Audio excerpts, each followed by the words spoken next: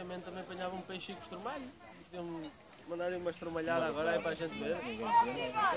Agora, agora, era, agora, Agora é uma estromalhada aí. agora, mas pronto, lá havia um inimigo que acusava e veio ter colocado.